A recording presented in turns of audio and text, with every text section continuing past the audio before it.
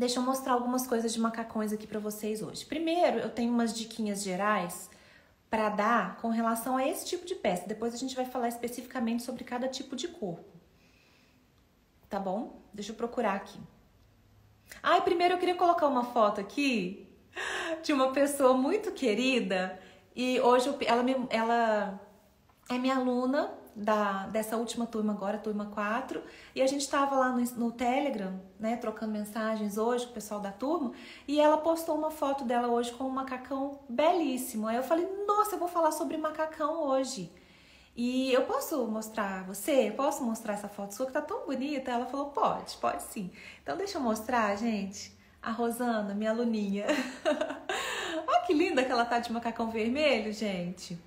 Ó, primeira coisa, sempre falei com vocês que eu é, gosto muito de vermelho, que é uma cor considerada, para quem não sabe muito sobre colorimetria, eu vou contar para vocês. O vermelho é considerado uma cor é, muito aceita por todos os tipos de pele, morena, loira, negra, etc. Tá? É, cai bem para todo mundo, tá? Esse tipo de vermelho assim. Para Rosana não podia ser diferente, né? Ela tem a pele mais morena, cabelo escuro. E olha como que o macacão favoreceu o tipo de corpo dela, né? Ela, ela optou por um modelo assim super bacana, que é tipo um pantalona com uma, com uma, é, uma calça mais soltinha, né? Aquela região da cintura bem marcadinha. Vocês podem reparar, gente, que não é uma, não tá apertado para ela, tá ajustado na medida certa para fazer a marcação e ficar legal. Um decote bonito, né? Os ombros de fora. É, ela colocou muito bem o sapato também, que é um animal print, que fica muito bonito com vermelho. Então eu falei, eu falei pra ela, você tá de parabéns, viu? então tem algumas dicas aqui para as meninas que estão acima do peso tá? E tem, de repente, às vezes não estão acima do peso, mas tem o quadril muito largo, que é aquele famoso é, corpo tipo pera, né? Que a gente tem aqui no Brasil, que é o corpo triângulo, que é a mulher de quadril bem largo, cintura mais fina. O ideal quando você vai comprar é que seja um macacão que não fique marcado, porque o macacão normalmente é uma peça que marca muito o corpo, né?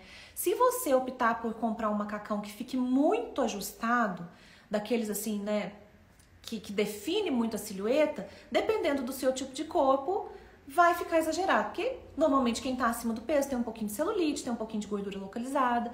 Então o ideal é que você opte por macacões que fiquem mais folgadinhos no seu corpo. Não precisa ser aquela coisa larga para quem não gostar, mas é bom que seja um macacão é, solto no corpo, porém ajustado, tá bom? Nem muito largão e nem muito justo a ponto de te incomodar, ser aquela coisa que marca demais. Então, assim, tem estampa, gente, que vai favorecer quem, tem, quem usa plus size, quem tem o corpo oval, né, e quem está acima do peso, e tem estampas que não favorecem tanto. Como assim, Marina? É o seguinte, é, estampa listrada, por exemplo, né, a padronagem listrada. A padronagem listrada vertical é uma coisa legal, porque dá uma sensação de alongamento de silhueta. Já a estampa horizontal é o contrário. Esse tipo de estampa aí que eu falo que é uma padronagem pequena, ela chama menos atenção para aquela região. E se você é, optar de repente por uma estampa muito grandona, pode ser que ela vai chamar mais ainda atenção para aquela região do corpo. Então, meninas plus size, optem por estampas menores e de preferência estampas de fundo escuro, tá?